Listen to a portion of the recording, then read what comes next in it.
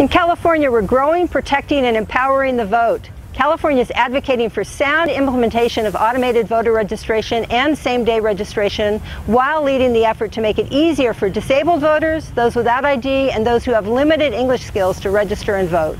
In the courtroom, we're defending our Citizens Redistricting Commission against legal challenges, and we recently won a case that restored voting rights to over 60,000 formerly incarcerated Californians.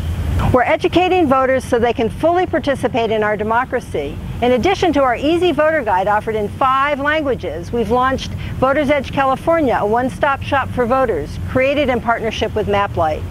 This year, 10 to 20 percent of all California voters will use Voters Edge, thanks in part to dozens of media partners and a new Spanish language site.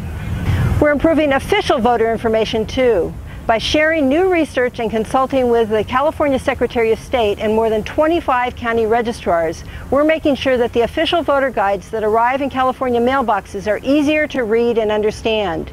Curious about what else is happening in California?